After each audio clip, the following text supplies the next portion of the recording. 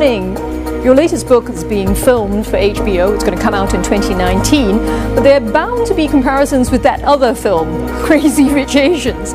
Do you find that a little bit uh, irritating?